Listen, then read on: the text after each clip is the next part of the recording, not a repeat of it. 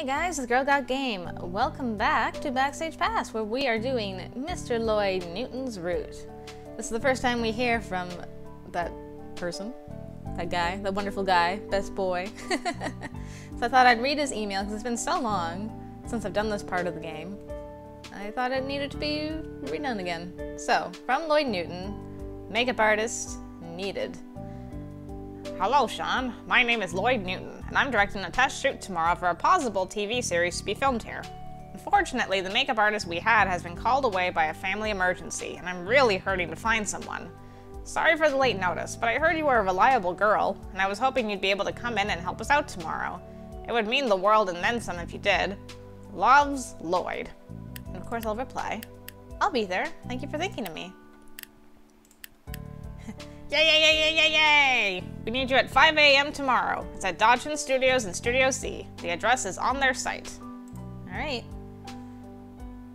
Hardly anyone knows who I am or what I do, or even the fact that I'm here.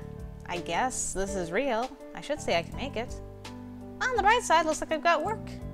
The downside looks like I'm only gonna get four hours of sleep tonight, so we're gonna skip ahead a little bit. We're gonna skip Matthew. Sorry, Matthew. Anyway, I'm just gonna, I don't want to miss Lloyd. There we go. I hurry down the hallway and over to Studio C. Guy with ponytail. Sian! I was just about to come looking for you. Wait, you are Sian, right? A man comes rushing towards me and skids to a halt a few feet in front of me. Yeah, I'm sorry. I got a little bit lost.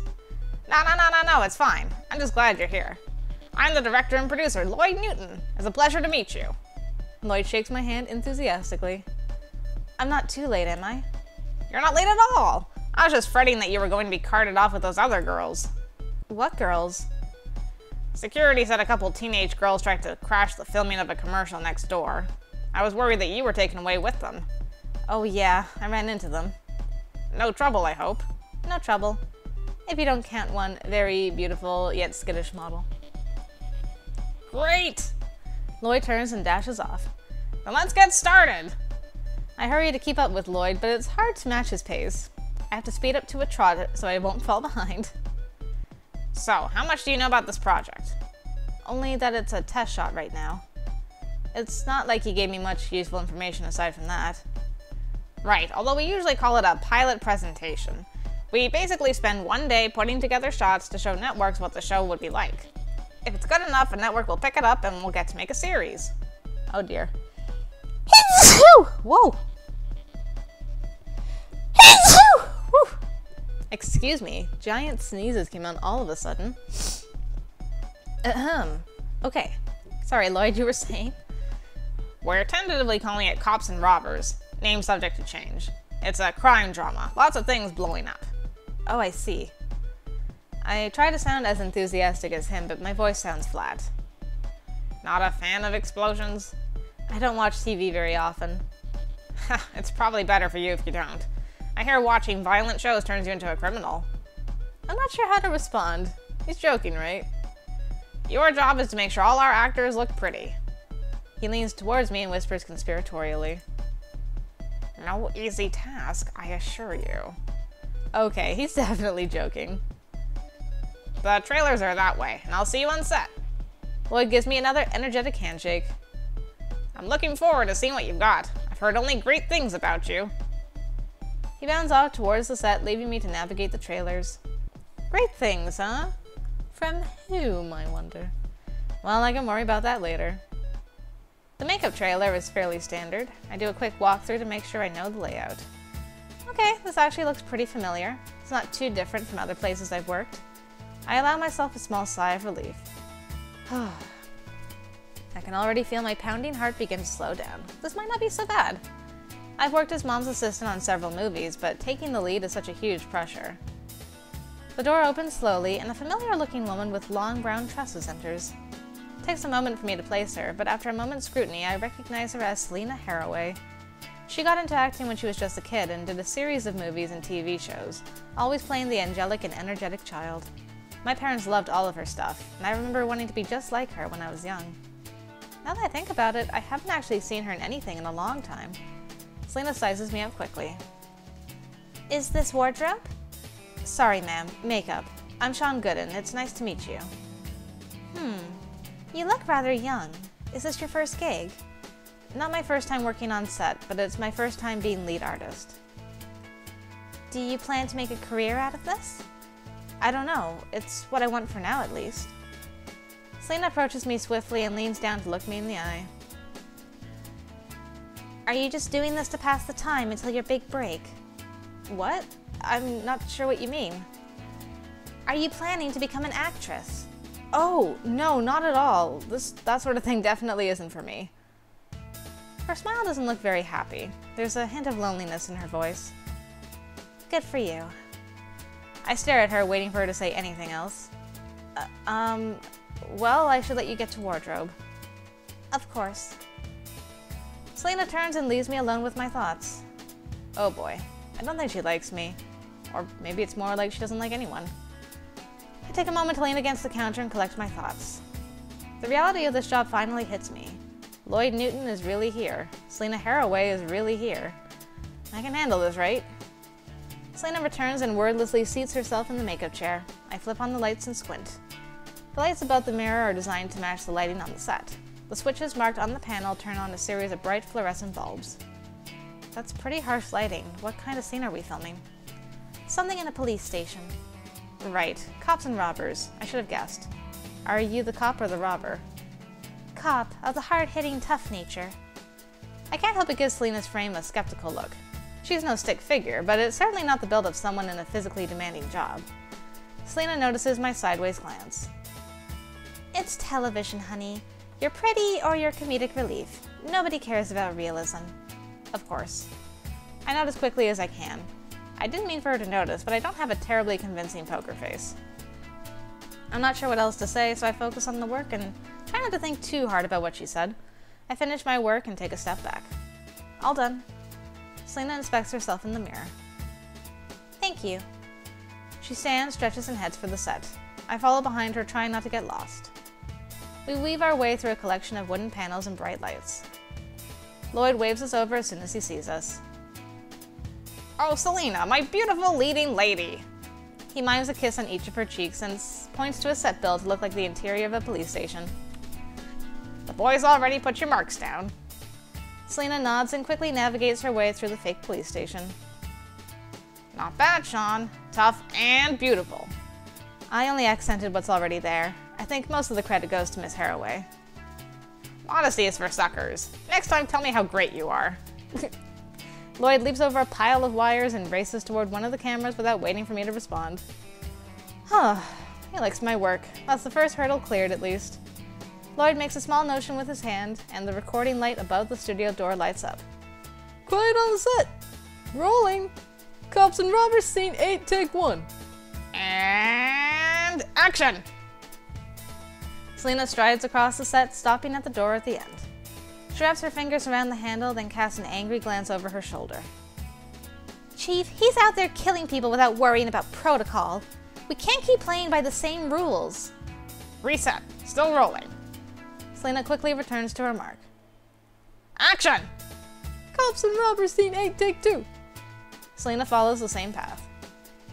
Chief, he's out there killing people without worrying about protocol. If you won't do anything about it, I will. If you won't do anything about it, I will. Without missing a beat, Selena recites Lloyd's improvised line back. Good, good. Reset. Still rolling. Give me something different. Selena returns to her starting point and closes her eyes for a moment. Action! Cops and robbers, scene 8, take 3. At the sound of Lloyd's voice, Selena's eyes snap open. She pulls a gun from her holster and follows the same path across the set. Don't try to stop me! She grabs the door's handle and marches out without another word. Cut! Beautiful! Lloyd leans over the cameraman to check the footage. I rush over to Selena. Just going to touch you up. Selena closes her eyes obligingly and I add a light layer of powder to her face. Alright, reset. We're going again. I scramble out of the camera's view as the rest of the crew gets ready to film again. The rest of the filming follows a similar routine. Each scene is shot multiple times from several angles. Between takes, I touch up any of the makeup that needs to be fixed. Working on a TV show all day proves to be more tiring than I remembered. After what seems like little more than a few hours, Lloyd announces that we're done. That's a wrap. Hope to see you all again soon. Everyone applauds politely, and the crew begins packing up. Well done, Sian. I knew I could count on you. I'm flattered, but I'm also completely exhausted. You look ready to collapse. Something like that. How do you manage? Hmm. Caffeine, mostly. Oh, and good food. I just found this pho place downtown and it's amazing. The only place I've been that makes it better is Vietnam. That good, huh? Lloyd gives me a cheerful thumbs up. That good. You should check it out sometime. I will when I'm more awake. Right. Get home and get some sleep. And good work today. Thank you. I pack up my makeup kit and head out to the front of the studio. And it's dark. And someone's going to offer us a ride soon. But I'm going to skip past all that and bring you in when we have to set up our schedule, guys. All right, we made it to our schedule. So I've scheduled exercise so we can run into Professor Merriweather. And Lloyd is basically the same as Matthew as far as stats, except it's the reverse. Uh, fashion is the primary stat and charisma is the secondary stat. And otherwise, we'll see how this goes. I'm very excited to see what where Lloyd's route takes us. I trust by now you've all purchased your necessary texts. Remember that it's not enough to merely purchase the book. You will have to read it for it to have any effect. Remember to go through your things regularly and use them, or you'll find yourself very disappointed. Professor Cabalt has a point. I should look through my stuff and make sure I actually use it. Mm-hmm. We will do. Today seems like a good day to go for a jog around campus. I start slowly, enjoying the fresh air and the time alone. I turn the corner and see Professor Meridia carrying a stack of cardboard boxes. She can barely see over the top of the stack, and it's obvious from her carefully placed steps that whatever she's carrying is heavy. Professor, let me help you with that. I jog up to her and lift one of the boxes from her arms. Thank you. You look familiar. Are you in one of my classes? Calculus 1. My name's Sian. Well, thank you very much, Sian. You didn't have to do this. I don't mind. I'm trying to get a little exercise in anyway. Good choice. A lot of first years tend to get caught up in schoolwork or socializing. A good workout is crucial for your health, and it helps to keep you from getting too stressed. Professor Meridia leads me through the front door of the school library. She places her box on a nearby table and breathes a sigh of relief. Oh, you can leave that there. I hoist the box onto the table next to her. Need anything else? No, that's all I need for now. What's in all these boxes anyway? Books, study guides, and other materials for the grad student group study. That sounds nice. I don't suppose there's anything like that for us underclassmen? If you're looking for extra help with your studies, there's a freshman tutoring session in the library every Monday night. Thanks, I'll check it out. I'll wave a quick goodbye to Professor Meridia and resume my jog around the campus. Alright, so we unlock that for next week. That's good. So far, so good this week. Benito is already waiting for me when I arrive at the coffee shop. Sian, over here. He puts down a deck of cards in his hand to wave at me. How are you? Um, I'm fine. He tilts his head and inspects me carefully as I sit down across from him. You need to get better sleep. He returns to shuffling his deck of cards idly, stopping occasionally to glance at the top card. I get plenty of sleep. I didn't say more sleep. I said better sleep. Something's on your mind and it's keeping you from sleeping well. There's just a lot going on right now. Do you want to talk about it? He checks the top card of the deck and frowns. Probably not the card he was hoping for. Um, I'm not sure how to tell him that I'd rather not talk about it, but he seems to realize that. It's fine. In your own time. Anyway, did you start that blog like I suggested? Yeah, but I don't really see how writing a bunch of articles online is going to make money. Well, it's kind of a slow burn sort of thing, but if you keep writing regularly, you'll get more hits. At this point in time, you really need to just keep writing. The more content you have, the better. Got it? Yeah, thanks. Any questions? Um, what exactly was the job you had for me? Ah, that. He pulls out his deck of cards and begins shuffling it again, this time faster than before. I've got this thing coming up at a fancy hotel. They want me to entertain the guests for a night and see how it goes. That's great. Congratulations. Benito waves off my congratulations. it's not as exciting as you think. I offer to work pro bono. I think they were more excited about the prospect of free entertainment than me. I was just wondering if you wanted to be my makeup artist for the show. Looks are everything, after all. I'll still pay you, of course.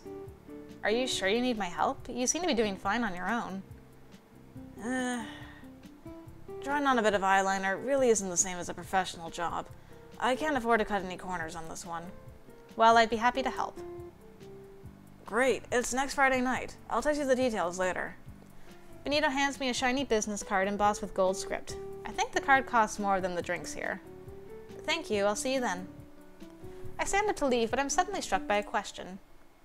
Hey, can I ask you something? Anything you want.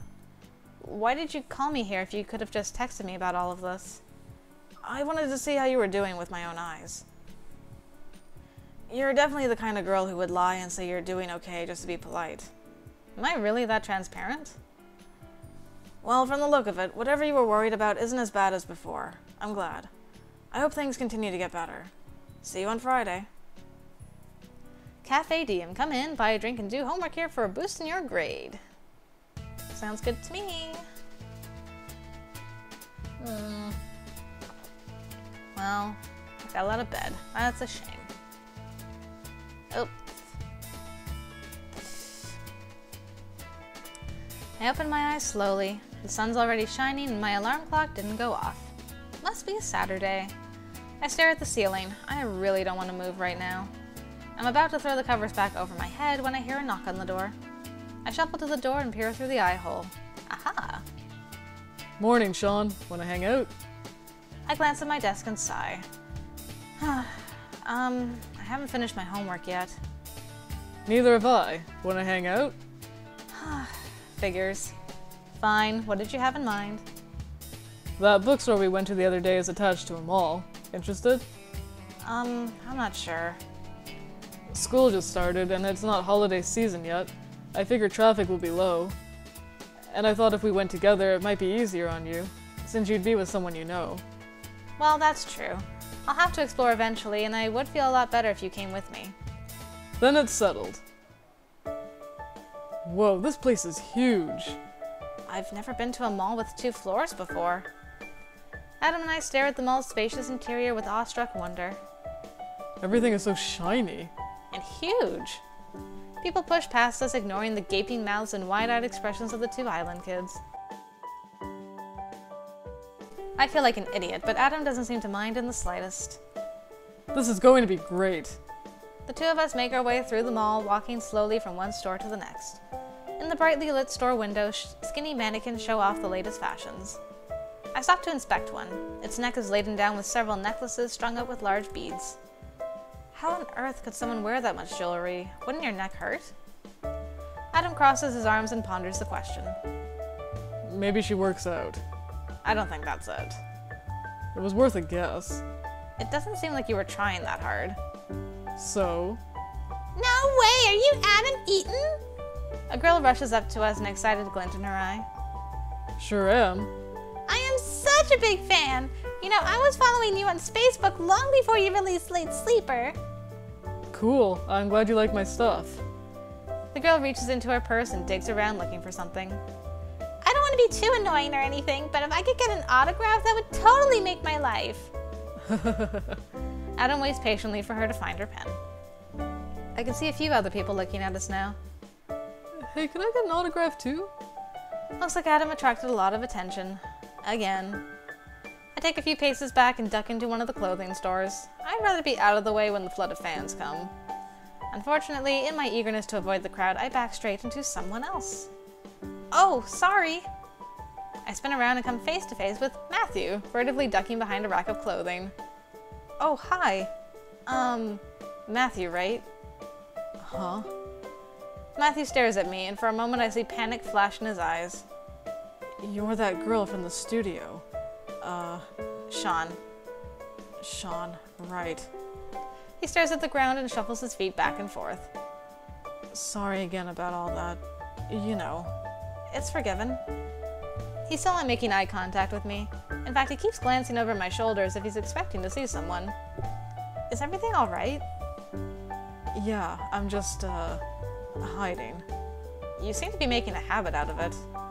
His face turns a pale shade of pink. I'm not trying. I'm never gonna do this, it's so mean.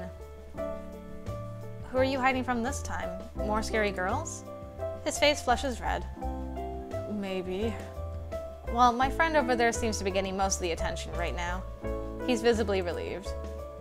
Oh, good. Maybe they won't notice me. Why are you so worried anyway? He glances over my shoulder again. What are you looking at? I spin around to see what he keeps staring at. No. He grabs my shoulder, but it's too late.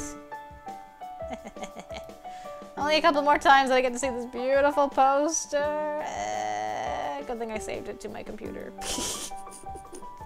Whoa, I mean, I didn't do that. a floor-to-ceiling poster of Matthew adorned in little more than delicate gold chain stares back at me. Flowing script labels him the Golden Prince. Um, wow. You, uh, that's princely. I nod to emphasize my point. I never thought about these posters before, but there's something a little awkward about standing next to the guy who's in it. Th thanks. It's from the summer campaign. I didn't think it would still be up. You don't like it? It doesn't make any sense. How can you advertise clothing if the model isn't even wearing any? I think the point is to advertise being attractive. Oh, but I'm not. Are you kidding? You don't sound very happy about any of this. I thought people liked being models. No, I like it. I mean, I do enjoy the work. It's just everything else. Like having to see this every time I come to the mall. What started as a pinkish blush is rapidly turning into a deep red. And then people recognize me and everyone talks to me. They keep looking at me. Wow, I've never met anyone with this much trouble with people except, well, me. I hate it when I'm the center of attention, too. Matt looks at me, hopeful. You do? Yeah, I have a lot of trouble in crowds, especially when people are watching. Sometimes if there are too many, I panic. My mom always said it was my biggest flaw. I don't think it's a flaw. It might be a hurdle. It's hard to make friends sometimes, and sometimes you're scared. But it's not a flaw. I still wish I could get rid of it. I'm sure you can handle it. I mean, you're talking with me right now, and I'm a girl. His eyes widen in realization. Uh, see? Talking with a girl isn't so bad. Well, you're different. How so? You're not asking me for anything. Girls aren't always asking for stuff, you know? How many girls have you even met? Uh. Matthew silently counts out on his fingers and stops at two. Uh, really? Well, two isn't really a good sample size now, is it? Maddie! There you are! A girl with silken locks and perfect skin bounds up to us and quickly entwines her arm around Matthew's. She carries herself with the grace and precision of a trained model, but she's a lot shorter than other models I've seen. Hey. She pouts, showing off her perfectly full lips. Where have you been? I was looking all over for you. And who's this? She turns to look at me and flashes a winning smile. The smile doesn't extend past her perfectly aligned teeth, and everything about her body language is telling me to back away. Sian, I'm just a, um, a stranger, I guess. Well, my name's Nicole. If you're talking to Maddie, I'm sure you recognize me, too. No? She looks horrified. But I'm the Golden Princess! I look back into the store and see a row of posters in the back featuring Matthew and Nicole chained together with delicate strands of gold. The two of them stare seductively at anyone who walks by, their intense gazes promising luxury and beauty for anyone who can afford it. Seeing them in person is kind of surreal. I don't think I'll ever understand marketing. When we met on set, it was love at first sight. He was my prince in the photo shoot, and now he's my prince in real life, too. Matthew's clearly uncomfortable. It's my sister. But Nicole nestles her head against his arm with a contented giggle. she gives his arm a tug and drags him towards the exit. Come on, honey, let's get going. But bye. Matthew begins to wave goodbye, but Nicole cuts his farewell short and drags him away. A girlfriend? Really? That was the last thing I expected from Matthew. Nicole's shorter than I'd expect for a model, but her hair and face are a perfect match for Matthew's. It's almost like they're siblings. I wonder if she got the job because she matches him. Hey. Oh, hey. I thought I lost you. Where'd you go? Just in here. I didn't want to be in the way. Sorry about that. That was the opposite of what I wanted for today. I didn't think anyone would recognize me. I'm not sure you can afford to think that way anymore. I know. It's just weird, you know? It hasn't really fully set in yet. Sometimes when I wake up, I wonder why I can't hear the ocean. Then I remember that I'm not home anymore. For a moment, I see a bit of melancholy behind his normally cheerful exterior. He's been working so hard this past year. He hasn't really had a chance to take a break or come to terms with his new life. Adam shakes his head. I guess it's just something I'll have to get used to. Let's get back to exploring, yeah? Sure. Adam and I resume our stroll through the mall, but nothing else catches our attention. Well, that's enough for today, I guess. Back to campus. Back to campus. Adam drops me off in my room. Thanks for today. No problem. I had fun. Don't forget you had that. Excuse me. Don't forget you have that photo shoot next Tuesday. What? Oh, right. Yeah, thanks. Anytime. Steel City Mall. Come on in and see all our shops. And check your mail. Miss Sian Gooden, after careful review of your student grant application, we are pleased to inform you that you qualify for our Students in Need grant. Your tuition will be waived as long as you maintain a grade point average of 2.0 or higher. Your GPA will be checked on a monthly basis. Failure to maintain your grade may result in loss of your grant or expulsion. Welcome to Steel City University. This message board is for students to connect with each other and discuss anything that interests you. Please try to use common sense when posting. This is not a board for porn, illegal downloads, or hate speech. Durr. Alright. And of course, going there doesn't really help me because Lloyd's not on, on there at all. But, um, what's our status again? 8 fatigue. Should I sleep? I think I'll go shopping again. Hmm, today seems like another nice day to go to the mall. I'm not sure I'm still up for being around that many people alone, so I'll take Adam along just in case. Get those tickets? Ooh, Brains and Puzzles here actually has the newest volume of Planetost, and the full season set of Knight Errant. You sound excited. Is it my fault that we had to wait for months to get anything back home? At least I taught you patience. No, it taught me that I don't like waiting. Naturally. A woman with a clipboard approaches us. Excuse me, would you like to take a short survey? You'll be entered to win one of several prizes like a new car. Adam and I look at each other and he shrugs. Sure, why not? We don't have anywhere to be. The woman looks relieved. From the look of her clipboard, she hasn't gotten many takers. So, do you or any of your family members work in the movie, music, or entertainment industry? Well, I'm a makeup artist. Does that count? Um. She glances down at the near empty list of names on her clipboard. Should be fine. Um, I'm afraid I'm a professional singer, though. Oh. Uh. Never mind then. Thanks anyway, you two. What about me? I thought you said I counted. Unfortunately, if you have a family member in the industry, you can take part, and since your brother is. Oh, I'm not her brother. You aren't? Oh, I'm so sorry. It's just that you two really look like siblings. I mean, It's fine. We get that all the time. but that's great. It means I can still give you the survey. She flips through her clipboard eagerly and reads off the first question. How many movies have you seen in theaters in the past two months? Um, I quickly review the last two months of my life. Most of it was consumed with Adam's summer tour. None. She raises an eyebrow and checks off a box on the sheet of paper in front of her. Well, that pretty much negates the rest of the questions, so I guess we're done. Sorry I couldn't be of more help. No, it's fine. We're looking for responses, not people who watch movies. Now, if I could get your email address, we'll be all set. She offers me a pen, and I write down my address on the bottom of the sheet. Thank you so much. She heads off to solicit more survey responses from people as they pass by. That was nice of you. It wasn't anything, really. Do you think you'll win anything? I've never won a raffle in my life. Luck is for other people, like you. I'm sure I've got enough luck for the both of us. Where should I shop today? Let's go to Brains and Puzzles. Because I don't think Lloyd actually cares about what we wear at all, so that's something. Um, I wanted to get the movie he, yes, the award-winning spy thriller series directed by Lloyd Newton. Thought I'd get that. Um, and Knight Errant.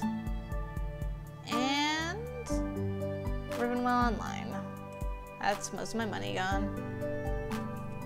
As I head out the door, a young woman comes barreling around the corner. Ah! She skids to a halt, stopping a hair's breadth away from knocking me over. Are you okay? The woman steadies herself and fixes her jacket. Yeah, I'm fine. Just didn't see you there. She glances at the book I just purchased. Hey, Rivenwell Online. Nice. I work for them, you know. Are you part of the development team? Nah, nothing like that. Marketing. Social media mostly. It's my job to promote the game and get new players. If you're playing Rivenwell Online, I see I'm doing my job. Oh, um, I don't actually play. Seriously? If you've got enough free cash lying around that you can just buy books for games you don't play, I've got a better deal for you. I don't... The woman ignores me and pulls out a sheet of paper. She scribbles an address on it and tucks it into the front cover of my book. The stuff there is pretty expensive, but I'm sure you can handle it. Stuff where? At the shop. What does it sell? the woman taps her foot. Stuff. Weren't you listening? Uh, okay. Anyway, I'm in a hurry, so I'm out. Later! She waves and marches into the bookstore without bothering to wait for me to respond. I look at the address she left in my book. A shop that sells stuff. How useful. It's a shop where you buy stuff. And now we got a new week to plan ahead of us, so let's see what we got. Hmm.